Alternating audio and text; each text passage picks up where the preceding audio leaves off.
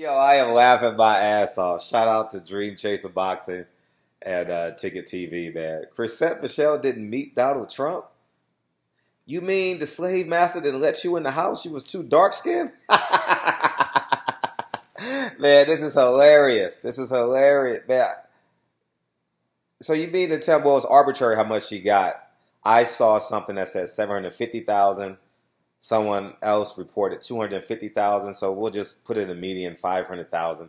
So you you took that check, got disowned by your family, and didn't even have a sit down conversation because that's why you said you did it, right? I remember that poem or whatever you did that whatever you said, you said you doing this to bridge the gap. All you did was sing a song, sing a church song out of this. So that goes to show you. So so it's a double edged sword too about how uh, how religion is played is being played to docile.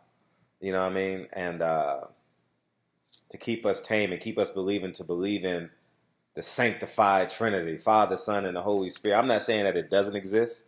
I don't know what exists out there, you know, but um, it's definitely not that white Jesus. It, it can't be, you know. It's, it's it's just too blatantly obvious that uh, because it's a uh, it's not a dominant gene.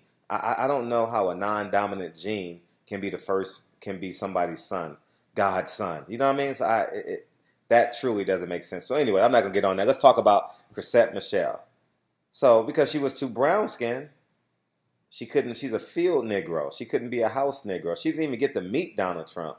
They just said, "Come here, slide. Let me slide you this check. Let me be, let me allow you to be an embarrassment to yourself and represent all of black women and potentially black America. That's basically what it was, you know. And uh, she had a price.